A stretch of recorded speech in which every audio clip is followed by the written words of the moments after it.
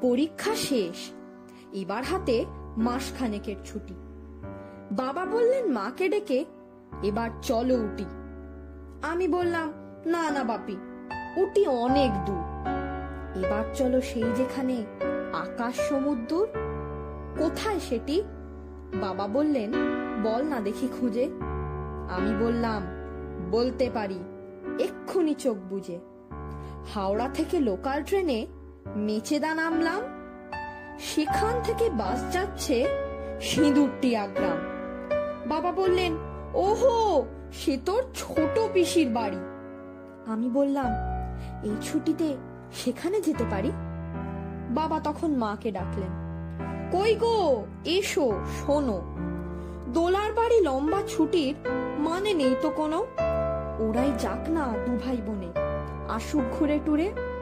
ওদের নিতে ডেকে পাঠায় টুকাই কুনকুরে বোন বলল, নদী পেরোনো, হাঁটু ভর্তি কাদা, আমার যেতে ইচ্ছে তো নেই। যাক না একা দাদা। ওরা যখন ছুটবে মাঠে, বিল্টু ও বঙ্কুতে, আমি তখন থাকব ডুবে ফেলুদা শঙ্কুতে। অনেক টানা পড়েন শেষে, ট্রেনের পরে বাসে, নেমেই দেখি হলদি জলে মেঘেরা ভেসে আসে। একটু পরে তাকিয়ে আমি মেঘগুলোকে খুঁজি।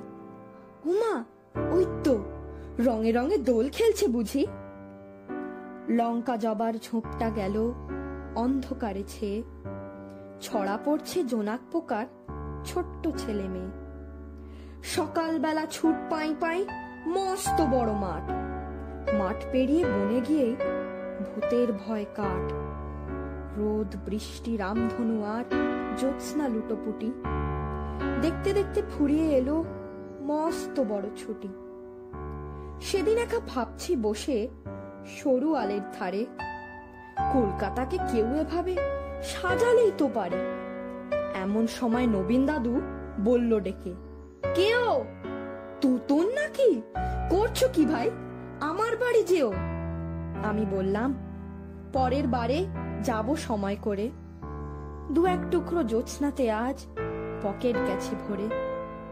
কলকাতাতে অনেক আছে, অনেক ভুরি ভুরি। আকাশ তো নেই, তাই দুমুঠো আকাশ করছে চুরি।